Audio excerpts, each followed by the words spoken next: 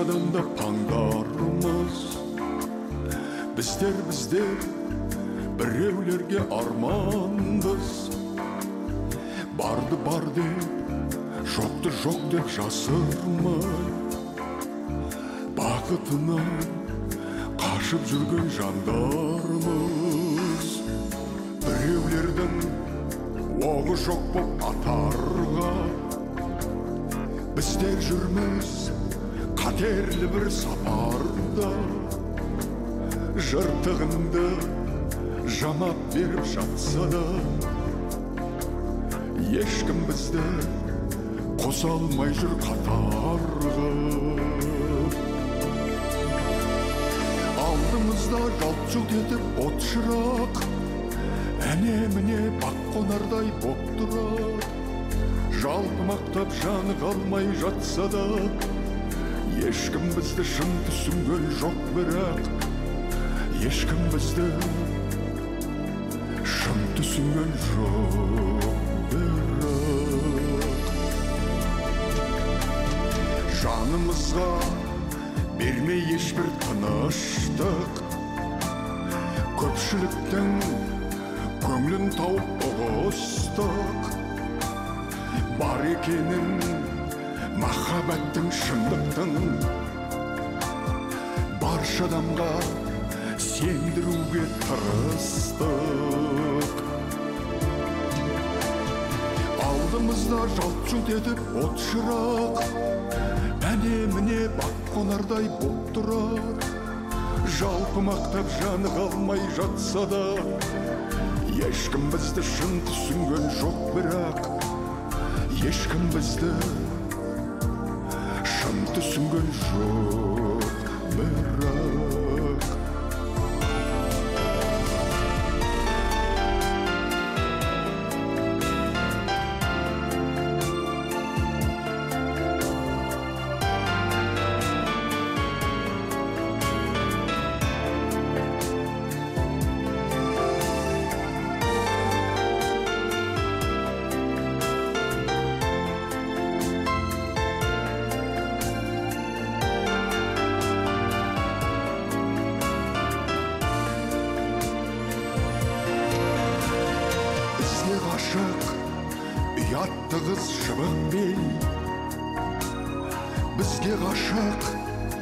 жаны жайсаң жігіттер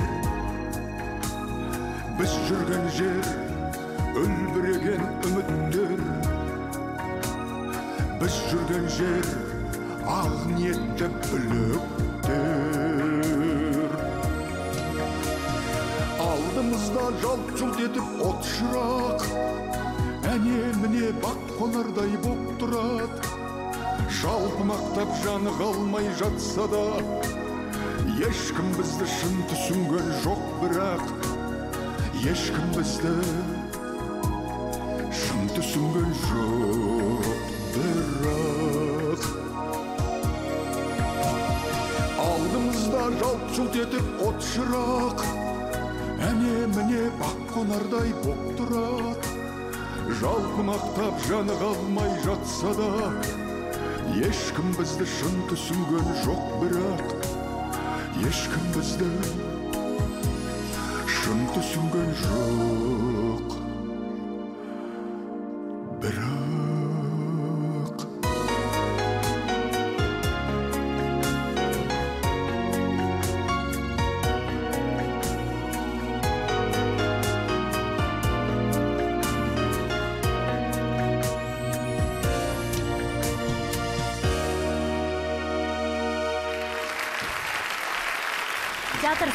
Өнердің ішіндегі ең зор өнердің бірі. Мұхтар әуезов бір сөзбен театрға осылай деп баға берген.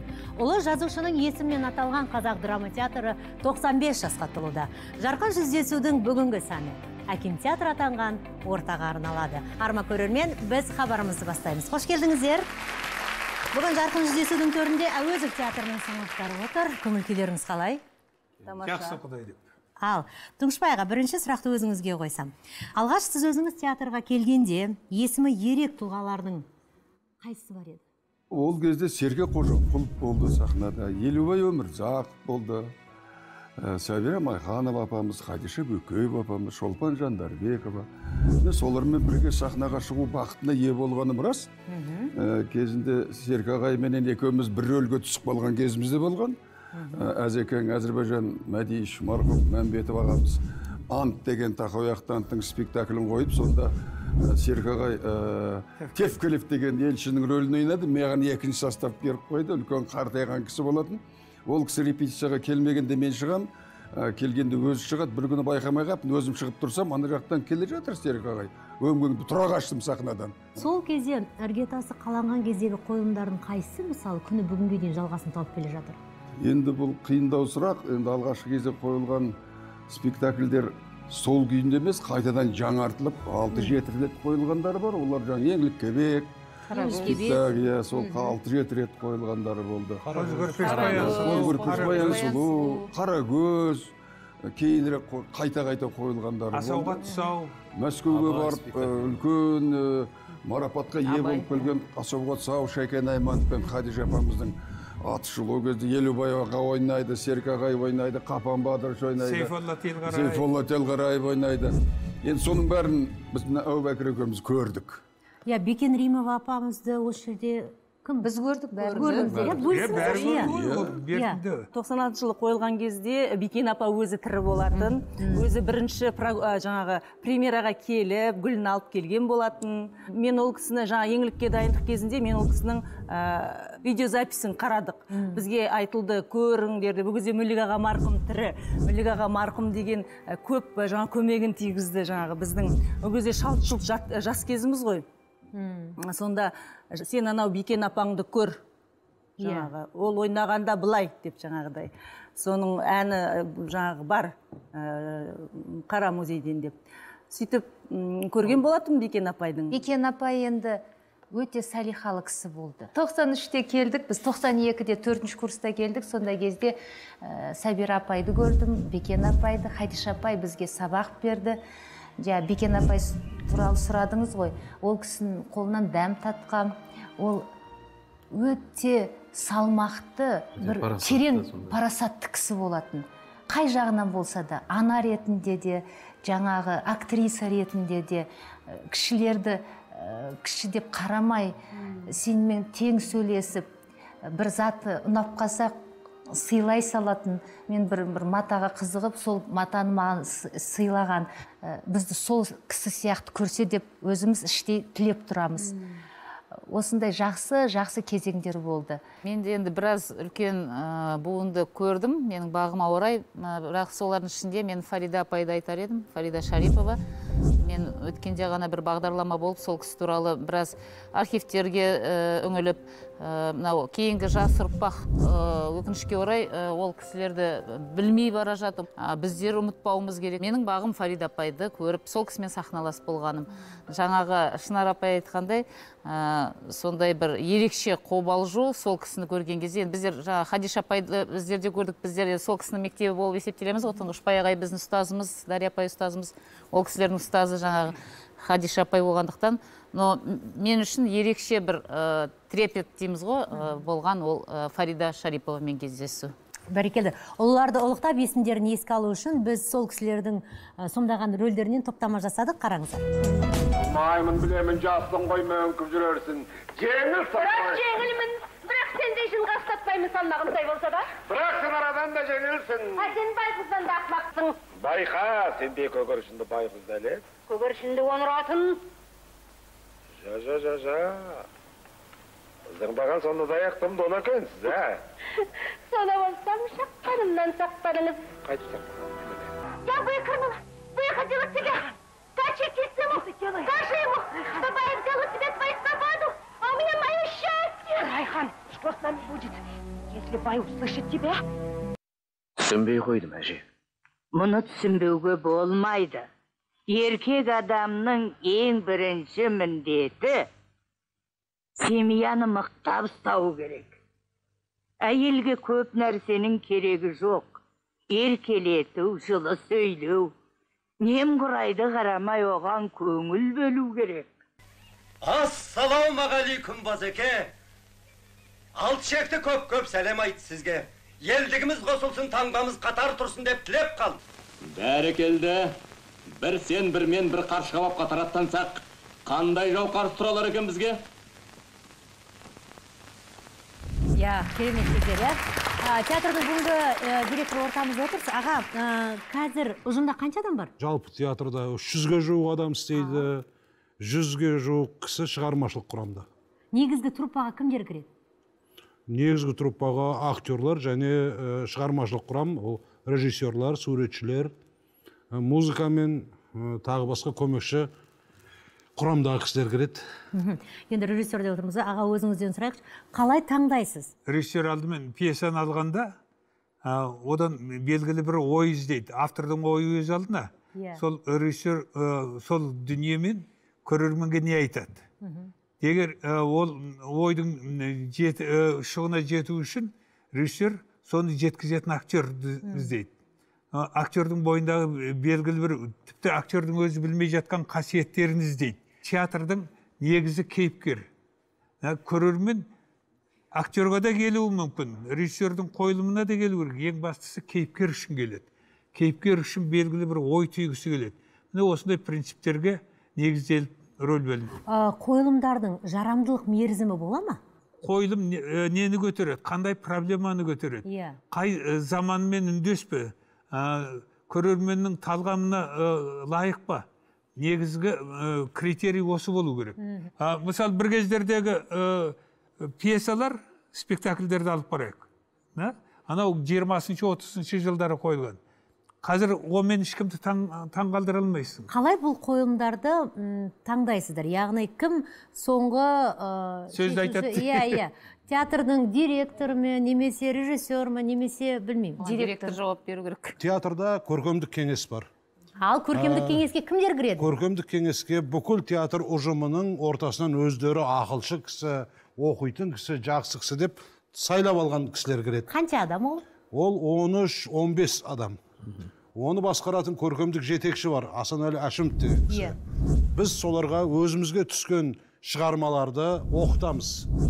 Одан кейін олардың пікірін жинаймыз. Содан кейін мониторинг жасаймыз. Қанша адам жақтады қанша адам жақтамады ол пьесаны. Иә елуде елу болып қалмайды ғой. Бір жағына кейде директор өзі де шығарып бере береді. Соңғы сөз демек. Иә. содан кейін соның ішінен осы бізге керек қой дегенін алып өндіріске енгіземіз. А түсінікті енді. Өндіріске жібермейтін де қойылымдар бар. Иә, мысалы иә болады ғой сондай керемет бірақ өтпей қалды. пьеса екі түрлі болады. Біреу оқу үшін екіншісі қою үшін. Лайық. Біз әрекет іздейміз. Оны сахнаға қойып болғаннан кейін барып білесіздер ме? Жоқ, қателескен әлде ол ең, қыз, ең қызығында сонда болжам деген бар ғой. Иә. Болжап мына пьесадан осындай жақсы дүние шығады ау деген ә, жағы басым болады ғой. Иә иә. Онан кейін режиссерлардың өнер адамдарының бәріне салсаңыз барлығы европаны шекспирді малерді ойнағысы келеді. Содан кейін бас жүзір шырылдап айналайын ау біз қазақ театрымыз ғой. Әуезовті ойнайықшы нұрмағамбетовті ойнайықшы исабековті ойнайықшы. Осы екі ортада театрдың іші қырғи қабақ тартыс пікір талас. Бірақ оның барлығы достықпен жақсылықпен заңды. заңды түрде осылай жетіп жатады. Соның ішінен әйтеуір іріктеп сұрыптап дұрыс болады дегенді тапқан басшы жақсы басшы болады ғой. Актерлар үндемей отыра береді. Ал шын мәнінде мықты актер. Ол өзіндік жұмыс деген жүйемен жұмыс жасайды. жалғас мырза театрға алғаш келген кезіңіз алғашқы қойылымыңыз? Мен алғаш театрға тоқсан жетінші жылы келдім. Жаңағы үлкен ә, көркемдік кеңестен өттім. Ол кезде тұңғышбай ағамыз сол кезде директор. Ә, бекен апамыз да бар. Ол кезде хабиб апамыз да бар үлкендеріміз бар фарида апайымыз да бар шолпан жандарбеков апайымыз бар жұмабай ағамыз медетбаев ғабдош ағалар өте мықты кісілер мен енді худсоветтен өтуге келдім ол кезде худсовет болмай қалды содан кейін басқа күні болады деді тағы келдім болмады содан кейін жасыңыз нешеде ол кезде жасым жиырма жетіде мен кеш келдім жалпы иә бірақ келдім келсем худсовет болады деді худсовет жиналып жатыр деді соның арасында барып кірдім кірді, кіруін кіріп алдым. Қолыма домбыра алдым. Оны найзағып ә, сауран сұлтанның анттағы несін айтып апаларымыз бәрі отыр. Не айтып не қойғанын білмей қалдым өзім кіргеннен кейін. Өлең дайындап барғанмын. көргеннен кейін не көргеннен кейін иә. кәдімгідей қысылып қалдым. иә. содан кейін сегіз аяқты айтамын абайдың. Алыстан сермеп деп былай дайындалып алдым. Кіргеннен кейін ал ән айт дегеннен кейін тұрып алып боралдай мен басқанда ұмытып ба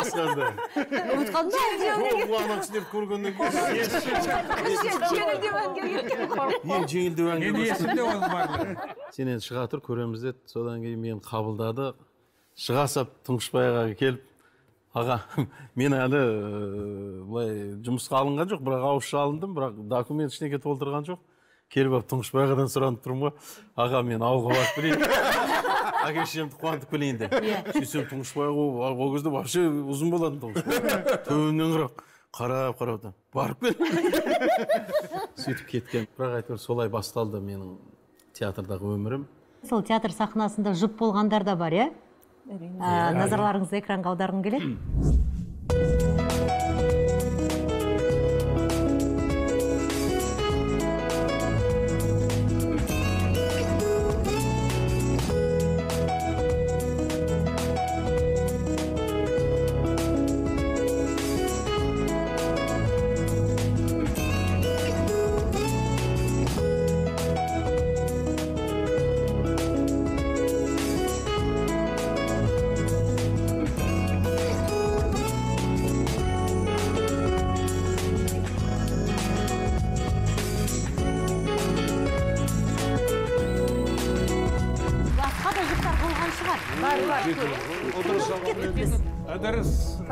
Апай, ыдырыс. апай ашырәлі құман ағам ағамыз меруерт өтекешов мен баян апай салиха апаймен ес болған ағай көп көп көп қой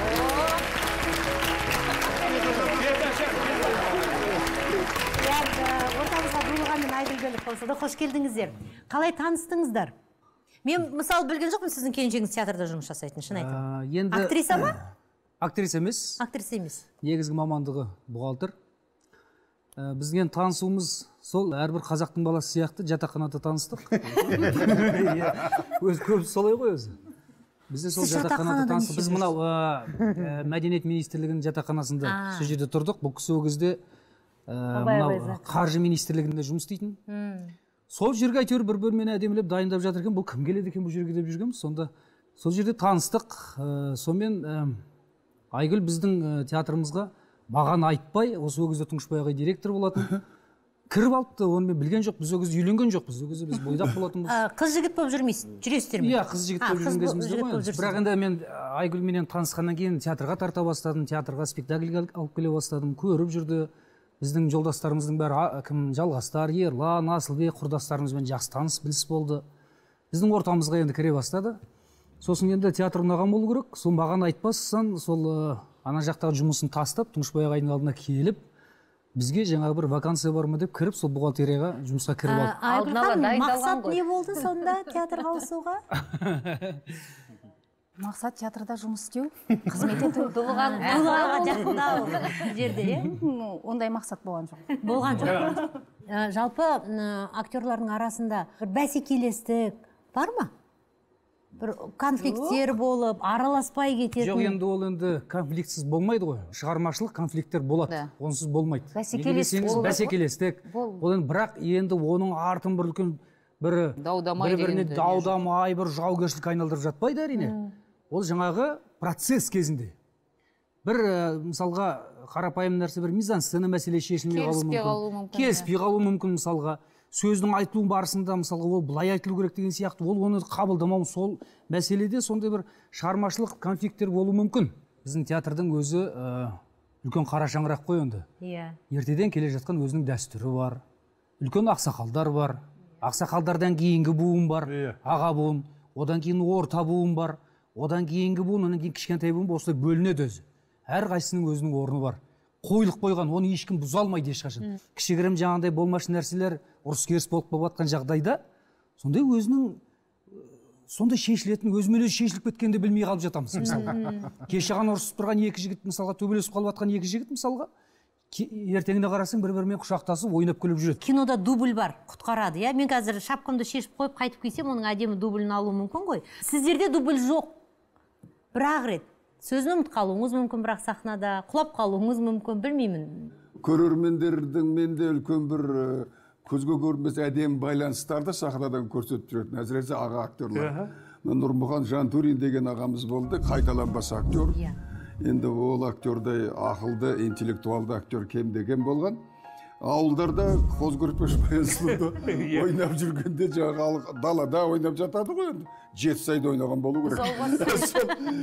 Жаңағы нені қодардың монологын айтып жаңағы осындай осындай деп жатқан кезде бір шал алдында отырып алған еді қарсы алдына. Сөзін айтып отыр еді қатарласып. Қодардың сөзін өзі айтып отыр еді бәрін бірдеңе деп айтады. Ана кісі айтайын десе ана кісі айтып қояды дейді. Жан жантөрин ағам тағы айтайын десе келесі сөз анау айтып қояды. Қазір былай деп айтады деп айтып қояды дейді қасындағы адамдарға содан кейін ағам найзасын алып қарсы алдына жетіп барып найзаны жерге шаншып әй ақсақал е сен ойна е мен ойнайын бізде қобыланды спектаклі бар қазір жүріп жатыр. Сол жерде бір сахна бар мен қарлығаны ойнаймын менің әкемді бір театрда бір үлкен актер ойнайды. Сол кісі бір өлетін сахнасы бар әкем ғой енді мен өледі. Содан мен жаңағы кісіге оны кім қобыланды бүйтіп қылышпен не істеп жібереді. Басын шапқандай иә. И ол кісі құлап қалу керек болды. И мен әке деп жүгіремін Иә, жаңағы иә. сонымен мені көтеріп алып кетіп дальше біздің сахнамыз жалғасып кету керек. Ана келіп шауып жіберді. Мә болат ағам өліп бастады ғой. Әлі жүр. Ей ондай сөз жоқ. Қайран елім қайтем енді. Әуезовте ондай сөз жоқ. әуезовте жоқ ондай сөз. Одан кейін сахна біздікі біз иә шығуымыз керек. әлі жүр. Былай бір барып шайқалды былай өліп болмайды мен әлі қарап тұрмын мына жерде қобыланды тұр ғой қобыландыға айттым барып. Типа бар да жіберші деп. Құлата барады құлата алмайды ана. Кетпейді кәдімгі жүр сахнада. Шығып кетіп қалдым сахнадан мен не істеймін енді арғы сах келесі сахнаға шыға салдым болды. Потому что невозможно ана мен кеткеннен кейін барып болат аға не болды жаңағы? дедім шыққаннан кейін. Не істедіңіз сонша? Бір сағат өлгеніңіз не енді ол ана жерде надо доиграть еді бір рет сұлу мен суретші спектаклін ойнап жатырмыз. Бізде алма Иә, иә. болады. Жаңағы алманы ойнатамыз. Екеуіңіз? иә Иә. ол алмадан басталады барлығы. Сол алмамен аяқталады. Жаңағы алманы басында бір бірімізге береміз де сосын сахнаның ең алдына зрительдің тура зрительдің алдына апарып шетіне қоямыз. Аяғына шейін тұру керек алмас сөйтіп аяғында мен алып оны ана әкеліп қайтадан беруім керек. Апарып қойдық спектакль жүріп жатыр. А ол спектакль сондай очень монотонный оны жай тыңдап отыру керек. Сөзге құралған сондай кішкентай действияларға иә. пластикаға құралған. Екі ақ актер ойнаймыз. Спектакльдің ортасында алдыда бір әйел адам отырған бүйтіп зритель. Бір иә көрермен. мен бүйтіп бір бір тишина бір тыныштықта қарасам жаңағы әйел алмаға қаратай келе жатыр бірінші қатардан тұрып. Спектакль жайында қарады анаған қарап тұрмын мынау не істейін деп жатыр деп. Ана кісі оқып жатыр мен бүйтіп залға қарап отыратын жерім келді алманы алды. Ана жерден кетпесең ғырт деп тістеді де еще деді барып орнына отырып алды жаңағы алмамен. Алманы жеп қойды. Алманы жеп қойды. Причем ол қатты анандай дыбыспен жеді ғой еще. Еще анау не істейді а ол жерде тыныштық. Екеуінің бір бірінен тишина и анау бітпейді ғой ана алма. Мен ойлап жатырмын енді не істеймін соңын не істеймін қазір. Енді соңында ана алманы апарып беруім керек қой. Бутафорға барып келейін ба артына барып келейін ба? Жоқ сахнадан кетуге. И құрсын дедім енді алмасыз бітірдік алма жоқ. Алма жоқ. иә, алманы көрермен жеп қойды сонда анау алмаға несі ана қатты ыныстар ауған болу керек. Алдында тұрған аяқ ауыр шығар. шыдай алмай кеткен болу керек. сондай болды ма? прямо келді осы. сауабын алдыңдар ғой. иә. Неше түрлі жоқ қыздар сахнаға мысалы шаш жалғап шығасыздар ғой дариға ханым. Мысалы сіздің өмірде шашыңыз қысқа екен ә, мысалы шаштарыңыз ә, түсіп қалып білмеймін енді ақтылып кеткен бізде кулья деген гример бар. Ол кісі Ол шашты ол Оны тек қана мың рет тексеріп байлайтын байлап Тігеді. өте мұқият қарайды ондайға сыған серенадасы деген спектакль бар парик дегеннен шығып жатыр ғой. енді ол кісінің де атын жөнін айтпай ақ қояйын. Иә, айтпай ақ бірақ соңында айта берсең гастрольде жүргенбіз. Қай жақта есімде жоқ сол сыған серенада сен күнде ойнаймыз ғой. Иә. күнде ана жерге ойнайсың мына жаққа барып ойнайсың жаңағы сол ана кісінің өзі кішкене шашы жоқ. Сол жаңағы сығанды ойнайды. Жаңағы ана барон. Баронды ойнайды. Мынадай қалың шаш парик киіп алған. Енді күнде кие бергенсің сол не жаңағы клей жағуға ерінген болу керек енді енді Байлай салып. очередный спектакль дегенде байлай салып шыға салған болу керек. Соны баронды ойнайды да ана шәмшіге жаңағы келіп жаңағы анау ызаланып келіп жаңағы қамшысын айналдырып айналдырып тұрып сар еткізіп перетін жері бар жаңағы. Ұзын қамшы ғой мына Иә, иә, иә. соны спектакльмен как раз сол кезде залда отырдым. Сол көрермен залында отырдым. Өзіміздің спектакльді қарап отырамыз Иә, ғой өзің айтып келді шен шәмші деген сияқты бірдеңелер енді сондай бір немен келді да ананы шиіріп сөйтіп тұрып періп қалған кезде қамшының ана несі? Ұшы. Парик келді де парик бір күшті ғана басын ар жағынан міне деп тап тақыр басып ол вообще хороший решение. Енді аяғын қарайсыз. Дітті басын бүйтіп бір сипады да сасқан жоқ. Барды да қамшының басына паригін бүйтіп босатып алды да қайтадан киді. Ары қарай жалғастырып сөйтсе ол теріс киіп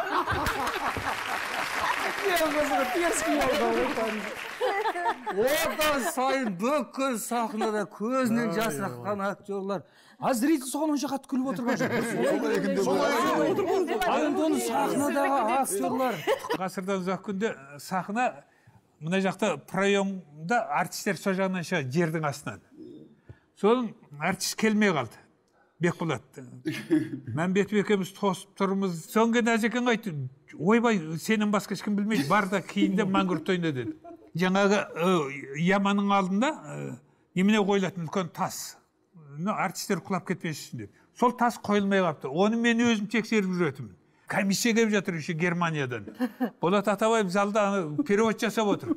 Соны домалап келе жаттым да анандай ямаға басыммен кеттім. А яманың астында үлкен немене вентилятор тұрған. Соған түспейін деп бетімен вентилятор былай сызып кетті жүгіріп сахнаға қайта шықтым да ары қарай ойнап жатырмын. Сахнаға шығып отырып жалғастырғаннан кейін біраздан кейін қан кетті. Әспетованың есі жоқ. Так аппақ дір дір дір етеді сөйлей алмайды мен айттым все нормально деп ақырын. Все нормально играй дальше спектакль бітті біткеннен кейін әжекең айтты ойбай жүгір больницаға бар деп. Больницаға бардық сегіз шоп салып берді. Болат атабаев келіп айтып жатыр ана неміс таң қалды дейді. Қалай тез астына кіріп басына немене- салып. шығып қан салып шықты. Қалай тез болды көзді ашпай қойшы деп айтады. Не деген кәсібилік деген шығар. Дегенмен жаңа айтып жатсыздар ғой декорация деп жатырсыздар грим деп жатырсыздар. Енді мен қазір ортаға сол театрдың көзге көрінбейтін қаһармандарын шақырсам деп отырмын. Мұрат сапар рауан әшімов және гүлсім тілебалдиева. Келіңіздер. Гример костюмер және ә, суретші. Суретші. Біз осыған дейін барлық сахнада болған қызықтармен бөлісіп жатырмыз. Енді сіздердің де қызықтарыңыз көп болу керек негізі. Енді театрдың сахнасының сыртында шынымен де жиырма жылдай болды қызмет жасап жатырмыз. Иә. Қызықты айта берсек көп қой. Мысалы ә, мінезі шатақтау актер болуы мүмкін актриса болуы мүмкін. Қиындау ой ана кісі келеді Атын дегеннен айтпай ақ сіздер сіздер былай қиналыңқырап ә, киімге келгенде бір кірпияз адам болуы мүмкін. Осы жерде де отыр біразы. Ма? жерде отыр біразы. Әр әртістің қандай мінез құлқын біліп алғанбыз ғой. Қалай Иә, иә. қай жағынан келіп ә, сөйлеу керек деген сияқты. Сондықтан шын айтсақ осы уақытқа дейін сондайлық қатты кірпияздықты білеміз енді ол жұмыс бабында болып жатады дегенмен де. Ондай үлкен бір ә, ке- кедергі келіп кездескен емеспіз шын басқаша бұл жасалынады кісінің негізгі проблемасы мына актерлармен. Мен өзі сыртынан қарап Иә. қызығып отырамын бұл кісілерде мата шуйды деген термин бар да ана актер семіріп кеткенін айтпау үшін. А ренжітпес үшін иә актердің өздері де айтады. Мына қандай матадан тіккенсіңдер? Мына былтыр ғана сыйып тұрған маған а биыл шуып кетіпті дейді да Иә, иә. Жаз, жаз бойы әжептәуір болып қалған бойында содан жүреді сол бұл кісі анандай кезде болады актердің ана отпускадан келгенде кішкене де қалғанын байқаймыз да Кішкене, үндемей бес килограмм. үндемей барып тігін цехына сәл ғана тостырып кеңейтіп қоямыз соны ол келіп кетті ойбай мен соқ толып кеттім десем оказывается әлі соқ алтында екенмін сөйтіп киіп кететіні бар ең көне костюм қандай костюм сіздерде тұрған бізде дәл қазіргі таңда менде мысалы жүз жылдан аса тарихы бар зер шапан бар оның оны кезінде біздің қаныбек байсейітов ботагөз ә, киносында киген екен одан кейін оны біздің жолымбетов. Атамыз Атайбек. атайбек атамыз оны ә, абай қойылымында абай киносында киіпті. Енді онан кейін біздің э, ол негізінде айтады ол бізге мосфильмнен киностудиядан келген деп мына біздің қазақ фильмінің киностудиясынан келген деп айтады. Ол енді өзі ауыр шапанда зерден жасалғаннан кейін ғой. дәл қазір ол еш жерде ойнап жүрген жоқ бірақ кезінде қаракөзде қаракөз киіп э, шығатын. қаракөз киіп шығатын жамылып шығатын. Қызыл шапан ғой деймін. Ал егер бір рөлді екі актриса сомдайтын болса уақыт өте келіп сол костюмді кие бере ме әлде сіздер жаңадан? Жаңа киіледі. кимей қалсын. Әр әр жоқ әр спектакльге әр құрамға әр әртіске бөлек киім тігіледі ғой. жаңа декорация туралы өте көп қызықтар айтылды. Декорацияны қалай жасайсыздар қанша уақытта жасайсыздар қанша уақыт ол салынады? Енді ол бірінші мына біздің кәсіп ә, бәрін талап етеді. Мысалға архитектураны да білу керек механиканы да жаңағы инженерия сосын мына ә, костюм тарихын да білу керек. Ә, әдебиетпен байланысты өйткені пьеса оқимыз драматургтармен танысамыз ә, режиссермен жұмыс істейміз. Негізі қатар жүретін кәсіп бұл сценография мен режиссура бұл қатар жүретін кәсіп. Негізі жалпы бізде бір 10-12 шақты цехымыз бар қызмет ететін спектакльге. Оның әрқайсысының өзінің ішінде бір бөлімнің ішінде мысалға 5-6 адам қызмет етеді. Соның өзінің басшысы бар. Солардың бәрімен жұмыс істеп біз сахнаға шығарамыз декорацияларды. Сахнада кейде біз мысалы ә, декорацияның ішінен ә, тасты да көреміз. Формасын несін қалай бересіздер? Неден жасайсыздар? Енді бізде ол арнайы цех бар бутафор цехы деген Иә. солар ол тас болғанда көрінісі тас болып көрінеді а бірақтан ол актерға ойнауға да ыңғайлы болсын деген ой, Иә, иә, ой- иә. сахна болғаннан кейін ол жағын да ойластыру керек ертең қойып бұзып ертең гастрольға кететіндей болу керек ол соның бәрін инженерлер бар бізде ақылдасып сөйтіп жұмыс істейміз ыыы істегенде декорация енді әртүрлі материалдан жасайды қазіргі заманда бұрын мысалға мата ағашпен жасайтын болса қазіргі заманда заманауи материалдарды қолданамыз. Суретші десе ер азамат елестейді ғой көз алдымызға. Дегенмен гример десе көп жағдайда мен үнемі ойлайды екенмін театрда гример ол ә, қыз баласы деп. Да бар. шын. А енді қазіргі визажистермен салыстыруға болмайды ғой. Жалпы сіз өзіңіз бұл мамандықты қалай таңдадыңыз не үшін таңдадыңыз? Қалай келдіңіз жалпы? Кішкентайымнан мен өзім сурет салатын мүсінмен айналысатынмын сондықтан ә, осы мамандықты қаладым. Шынында да бұл мамандықтың ә, несі былай қарап тұрсаңыз терең да ә, көп нәрсеге үйренуге болады. Мысалы сіздің қасыңызда шынар отыр иә шынар ханым? Ә, бір 80-90дағы әжені ә, жасауға бола ма шынарға иә әрине біз ә, театр не істейсіз сонда? Жай мысалы жүргізіп тұрған мен де көрермен де білмейді оны қалай істейтіндеріңізді айт енді құпия Иә. қалай енді кемпір қыласың? оны қалай кемпір қыласыз шашын бояуға болады ағартуға болады сосын если мен боя егер мен бояғым келмесе ше бояғыңыз келмесе онда парик кигіземіз. Иә. А, парикке арнайы өзіміз парикті қолмен жасаймыз. А, әжімдерді а, сызып бояумен қарындашпен сыза саласыздар ма? Жоқ қарындашпен сызбаймыз Гриммен. сызамыз? Иә, иә, иә. А, бізде корректирующий цвет деген бар. Иә иә. А, гримде қоңыр мен қараны араластырамыз да. Сосын анау жасанды көлеңке жасаймыз. Мм. соны бүкіл әжімдердің бойын салып шығамыз. сосын иә?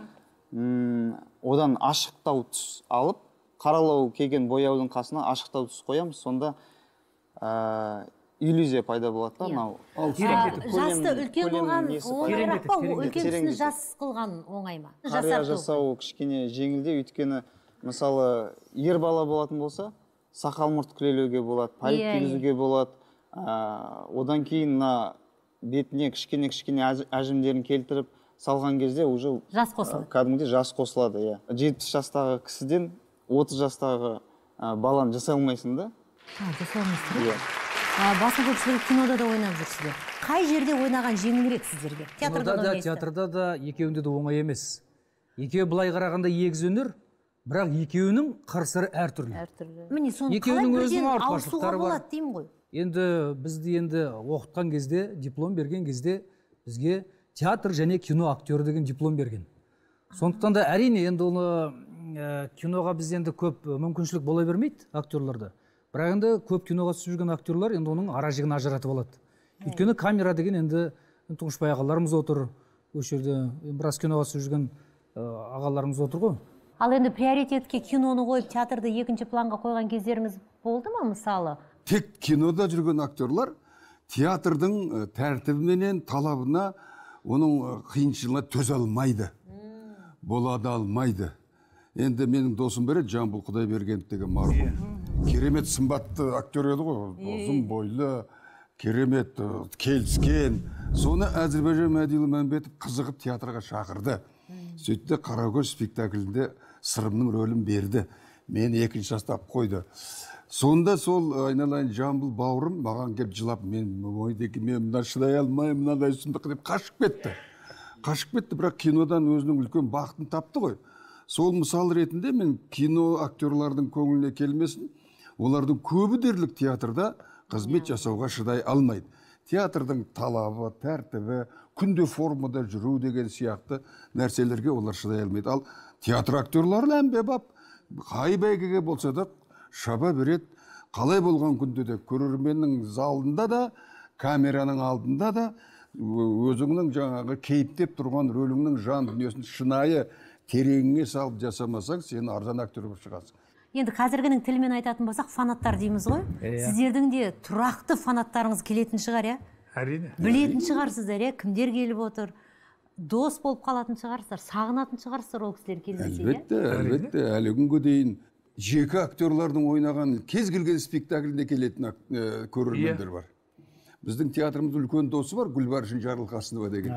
Мәскеуде бітірген кез- москваның театрларының бәрін көрген адам. Өте интеллектуалды э, терең білімді э, кісі біздің замандасымыз енді сол біздің театрымыздың бір спектаклін қалдырмайды. Э, және актерларды тең теңімен рет ретімен қай қазан қай жаманда қай кез жасы қанша солардың рөлдерін түгелдей жатқа біледі де міндетті түрде гүл алып келеді. Міндетті түрде келіп қолын алып құшақтап бетіне сүйеді. Мұндай адамдар өте көп. Көп? Былай ғашық болып сезімдерін білдіретіндер бар ма мысалы? Оны айтпаймыз енді. Жария кетіп қалды ғой айта берсеңіз иә жария кетіп қалды ғой енді. Айтпаймыз енді оны. Ондайлар өте көп. Гүлдің арасына жаңағы салып записка салып жіберіп жатады мысалға қыз балалар айгүлдің түрі бұзыла бастады. Болмаса жігіттер мысалға қыз балаларға беріп жатады жаңағындай.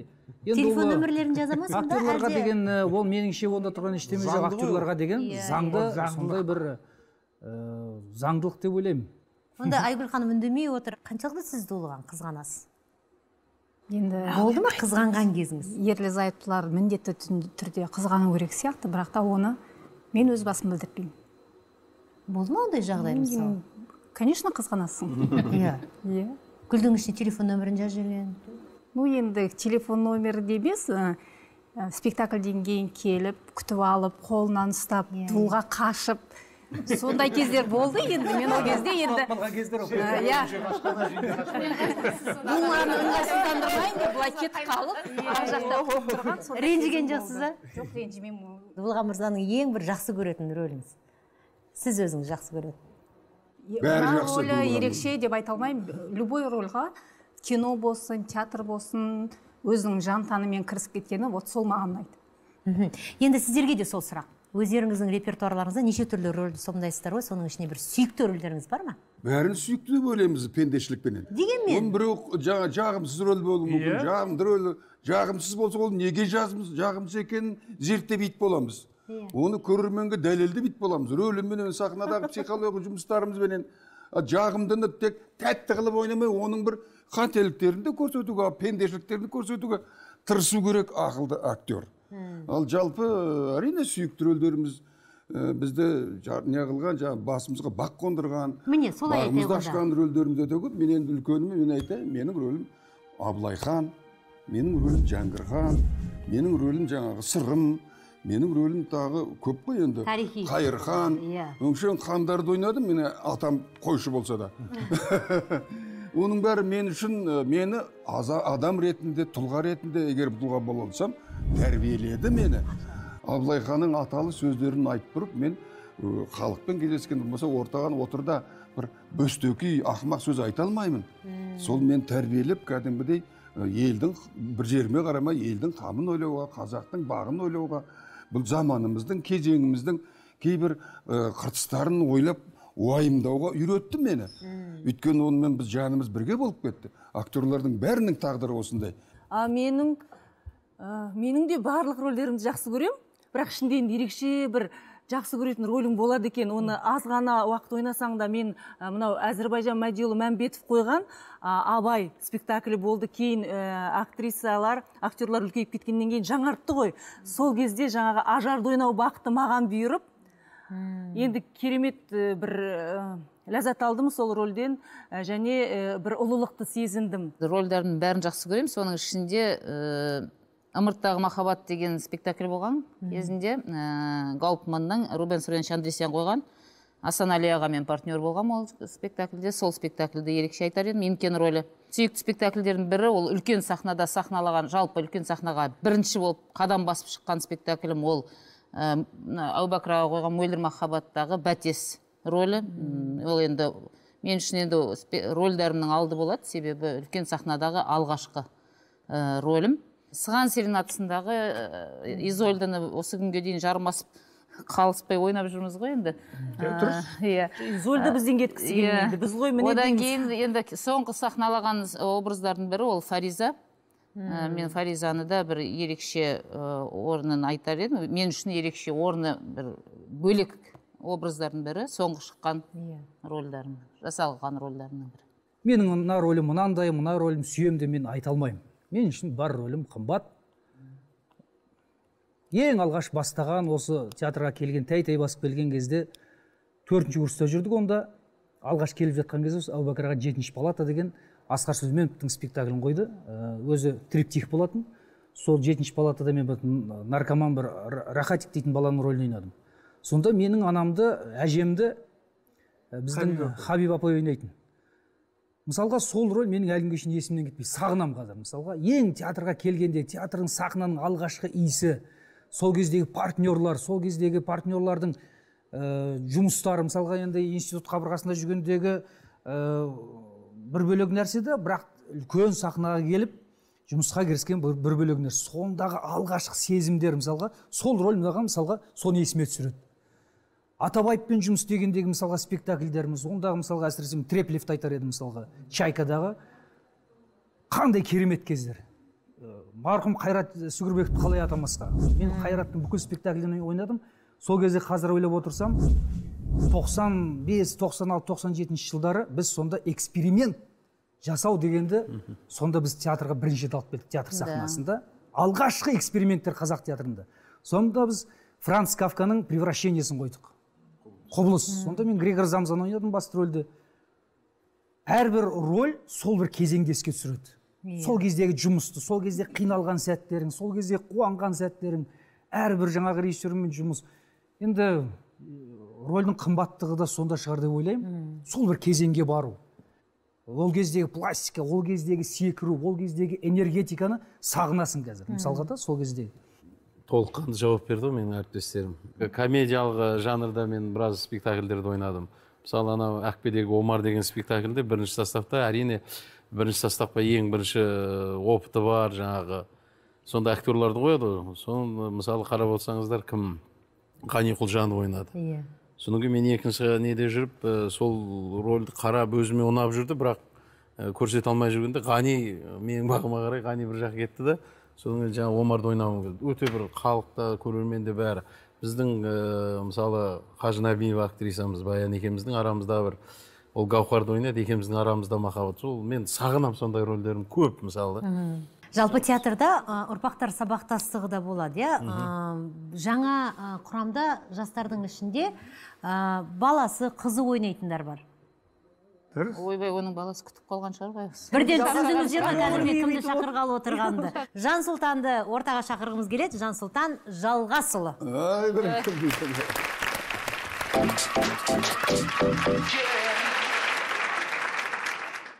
Әкеңмен бірге бір сахнада қалай өзі? Оңай емес өте қиын. Қай жағынан? Сын көп болады еркін ағам айтпақшы. Жаңа түскен келін құсап жүресің театрда. Контроль. Иә. Қасымдағы жас әріптестеріме қарағанда маған екі есе қарайды? Аға бар ма айырмашылық? Мысалы ә, орта буын мен немесе үлкен буын мен мысалы жастардың арасында айырмашылық? Мынау жұмысқа келгенде талапқа келгенде. Бұл балалардың бәрі енді кішкентайынан сол сахнада өсті Иә. десек болады. Өйткені кіп кішкентай бала болып біздің шынардың қара кемпірде жаңағы сабақ беретін балалары болып Иә. ойнады. Иә, иә. содан бері бұл балалардың бәрі сол мен ойлаймын бұлардың бәрінің махаббаты сол кішкентайдан театрға деген махаббат. Ауыртып қойдық қой бұларды, иә, ауыртып солай ауыртып қойдық. Жаңа айтып отыр барлығы біз осындай кісілермен жұмыс істедік бір сахнада ә, ойнау мысалы бақытына ие болдық деп. Біраз уақыт өткеннен кейін мүмкін сен де мақтанарсың. Ә, дәл қазіргі рөлдеріңе келсек және де кімдермен ә, бір сахнада жүрсің? Қай рөлдеріңмен мақтанасың? Мен ең алғаш қобыланды деген спектакльді нұрғанат жақпай ағамыз сахналады. Сол жерде назгүл апаймен дулық ағамен ойнаймын. Ә, қобыландының досы қараманды ойнаймын. Өте қиын болды. Дулық ағаның назгүл апайдың арқасында кішкене болсын шықты деп ойлаймын. Өмірдің өзі театр. Осы театрдағы өзімізге жүктелген рөлді ойдағыдай сомдап шығайық. ең жарқын студиядағы ең жарқын жүздесулерді өткізіп алмаңыз көрермен сау болыңыздар